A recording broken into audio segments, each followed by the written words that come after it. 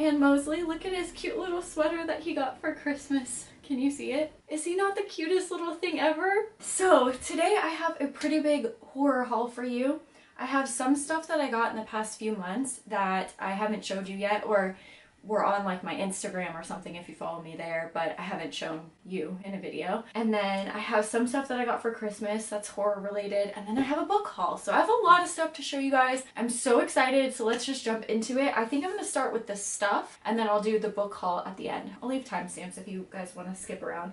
But let's start with stuff that I've had for a while that I probably just haven't shown you on this channel. First, I got these The Shining shoes and they have room 237 on the back. They say red rum, they have a little shining thing. And then in the tongues, they have the little maze, which is so awesome. I got these in October when they came out and I am obsessed with these. I think they're the coolest shoes. However, they had different shoes depending on where you bought them. And so in November, I noticed that another package came and I could tell that it was shoes. And my husband's like, oh, I got you a Christmas present. And I was having just a really rough month. So he let me open them early.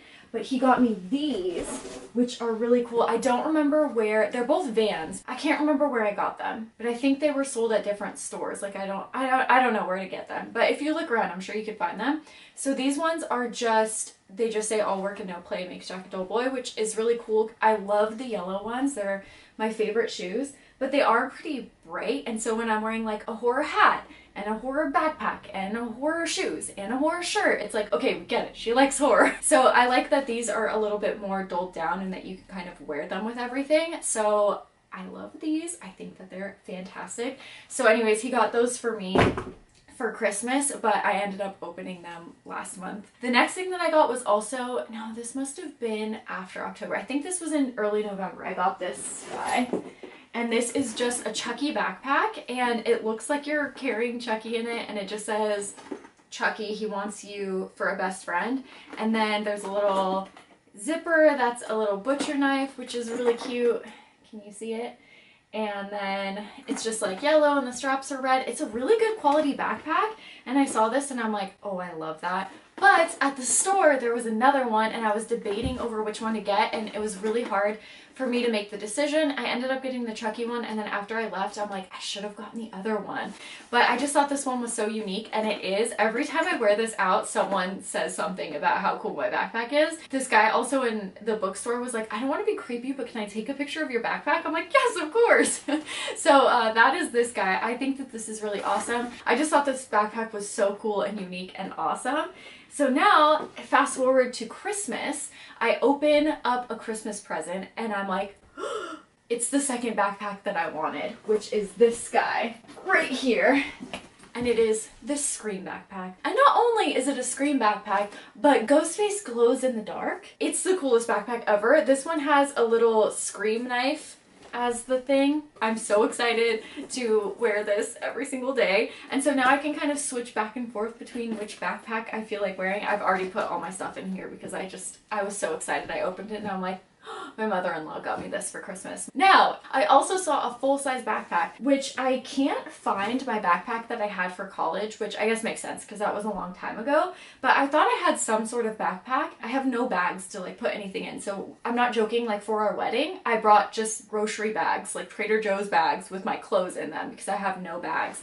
And so I saw a full-size backpack at that store and I'm like, that would be good to have something like that for when we go if my husband ever gets a freaking day off and we can go on a honeymoon. Or like because i really do want to go back to college hopefully one day i can. But anyways um i saw this one in there and i just thought it was so cute and like this would be perfect to just have for you know trips and stuff like that. And my husband actually picked this guy up for me for christmas too which i thought was really awesome and um yeah i think it's cute it just says collect all the good guys accessories and then just says good guys and then there's little chuckies all over so I thought this was pretty neat as well. And then just for Christmas, I also got these shirts. This one said, I think it says I'll be there for you. And then I also got this guy, which I think just says friends. And then there's a bunch of horror guys on there, which is cute. And then also my friends, I, it wasn't for Christmas. They just picked me up a shirt and they gave it to me last time I went to their house. And I do not know where I put it. Where did I put that? I'll get up and look for it in a second, but, and then the last thing that I got, my mother-in-law also got me this Nightmare Before Christmas blanket. I don't know if you could see it, but it's just Jack and Sally, and it's just a black and white cute little blanket throw thing. Let me just take a quick gander around and see if I can find it. Oh, look at that. It's right here. Oh, oh geez. Okay, so this is the shirt that they got me. It says the boogeyman, and then at the bottom it says, oh, the boogeyman followed me home. And I thought it was cute. So there's that guy. Now off to the book haul. Okay, so the first book that I got was a Tony Hillerman Dance Hall of the Dead and this one was a dollar at my used book. These are this is a used bookstore haul. So this one is a science fiction book and it just says on the back Dance Hall of the Dead is a stunning novel that blends American Indian legend and lore together with mystery, drama, and suspense, which I think is what Tony Hillerman is kind of like known for, is that uh, using American Indian culture and then like, you know, uh, science fiction kind of stuff. The action begins with the bizarre ritual slaying of an Indian youth and builds as Joe Leaphorn, a Navajo reservation police, tracks the suspected killer through the beautiful and savage American Southwest into the and then the sticker is covering some of the stuff. I can't make out what it says. Into the probably deepening something of Indian uh, mysticism and murder, laced with something. Dance Hall of the Dead echoes uh, something, and death that is shocking, compelling, and something. Why do you guys watch my videos? Okay, anyways, this is the first book that I got. It was just a dollar. The next guy that I picked up, oh, was Independence Day, and this is uh, now a major motion picture from 20th Century Fox. And this is by Dean Devlin and Roland Emmerich and Stephen Molstad. Geez, three writers. I didn't know that this was a book before it was a movie. At least that's what it sounds like. I want to see when this was published. 96. When did Independence Day come out? Wasn't it in the 90s? Let's see when Independence Day came out, because I don't know about this. Oh, Roland, Roland Emmerich is the director and then Devin, Dean Devlin, and Roland Emmerich are the writers. But it doesn't. I don't know. I'm confused. This is now. This has to. Have, this had to have come out after '96. The movie came out in '96. I don't know. You guys tell me. Did this come out? I think I think that this might be like a novelization is what it sounds like although it doesn't say it on the cover. Let me know if you guys know. But anyways, I know a lot of people hate novelizations, but I grew up reading a novelization of one of the Nightmare on Elm Street films and I loved it so I do like these kind of books as well. And I was hoping I could do like a novelization video just talking about specific novels. But anyways this was a dollar too which is why I picked it up. I'm still not sure which one came first. There are pictures from the movie in it so I don't know a little confused because usually it tells you one or the other and by saying now a major motion picture it kind of implies that the book came first but I don't know. Next up we have this guy and this is called The Time Dissolver by Jerry Sohl. This is an original science fiction novel of the power of a machine to transform men's minds. But look at this cover. How awesome is that cover? This one was $1.50 and it just says a man awakens with a clear memory of, of the date of his date the night before. He rises to go about his business as usual and he finds that he is in a room he has never seen before. He looks in the mirror and it it is his face he sees, all right, but aged. He went to sleep on May 15th of one year and woke up the next day as expected, but 11 years later. The woman in the bed beside him awakes also in terror at the sight of him, and she too went to sleep on May 15th. Neither has seen the other in his life. I don't remember why I picked this one up because I bought these like two months ago, but I don't, I, it must have been the cover because I don't even think I read the back of that one. But I just love these really old science fiction books at my used bookstore. Some of them have proven to be quite entertaining. So let me know if you guys have heard of that bad boy. Next book I picked up was Bird Box. This of course is a movie. This was a book first, I know. And it just says Don't Open Your Eyes, a novel by Josh Malerman. This one, I so I didn't love the movie Bird Box, but I figured that I would give the book a try and maybe I would like this one more. This one was $3 and I mean, I'm sure you guys know the story of it, so I don't think I have to read this. But yeah, $3 for a hard book, a hardcover book. I was like, yeah, I'll pick that up and read it and see what it's like. I think I have heard people say that they preferred the book to the movie, so hopefully that's good. Let me know if you guys have read that. The next I got was Ramsey Campbell's The Count of Eleven. The little quote down here it says, If Silence of the Lamb holds the modern serial kill- killer up for inspection, The Count 11 takes us right inside the head. And then this is just what the cover looked like. The cover grabbed me. Obviously, Ramsey Campbell is big on horror, but I don't think I have any of his novels. I have a collection of his short stories, I think but I don't think I have just a full novel of his. Um, did I say how much it, I paid for it? It was $3. And it says, The darkest nightmare is a serial killer, committing grisly murders for reasons we do not understand.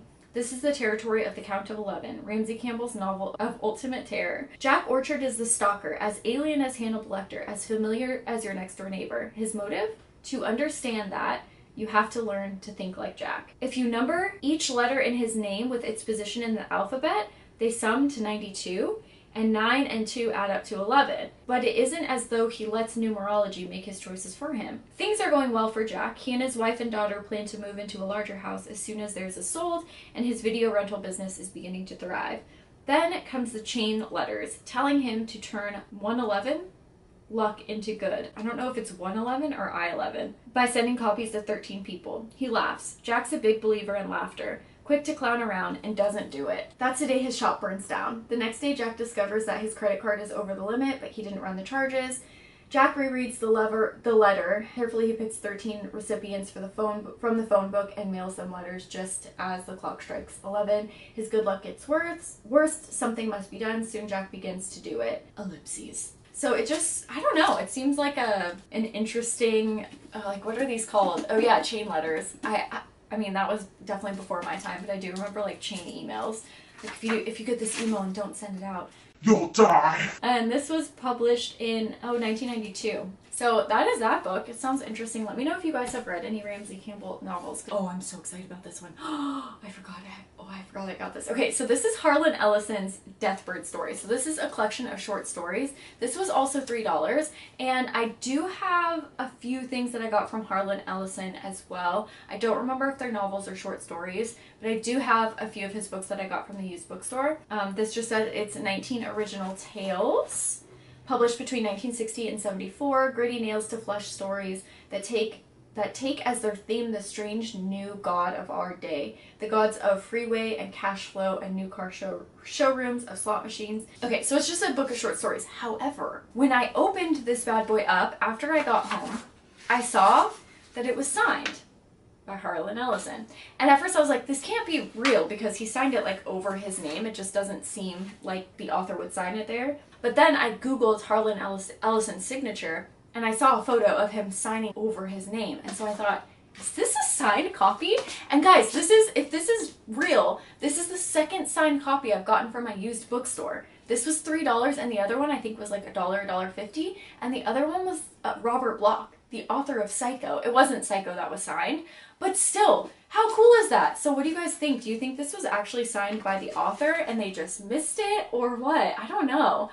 But it's just crazy that I keep finding these signed copies there. I don't know. I'm really excited for this guy. I also enjoy the cover as well. So there we go. A potentially signed copy of a book. This one I have Into the Mummy's Tomb. I have been a bit on a mummy kick, at least I was in October. And so I saw this and I was like, bad boy up. And this is just ancient mystery and terror unearthed by the world's greatest writers. So you have Anne Rice, Bram Stoker, H.P. Lovecraft, Elizabeth Peters, Tennessee Williams, Agatha Christie, Ray Bradbury, and Edgar Allan Poe. And it's uh, just seems like stories about mummies, which I'm down for. And I just realized which Edgar Allan Poe story was in here. But anyways, I just thought that this was fun. And then the last thing, my friends, which I'm also very excited to talk about, is this bad boy.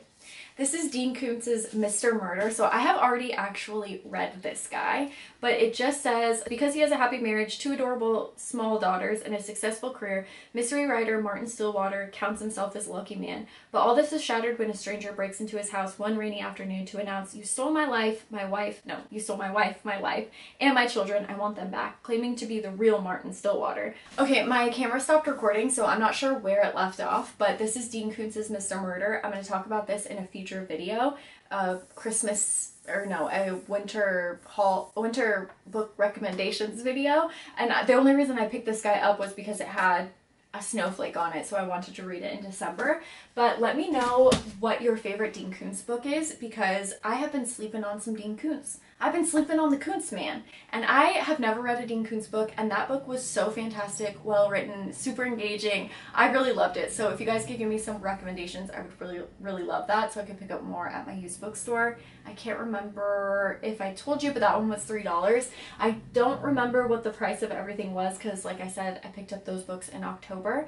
But I have more horror book hauls coming up. I have stacks on stacks on stacks of horror books for you and I will see you on Thursday with another horror video. Thank you so much for watching and I hope you guys had a wonderful Christmas if you celebrate and if you didn't I just hope you had a, a good week and I will see you next time. Bye.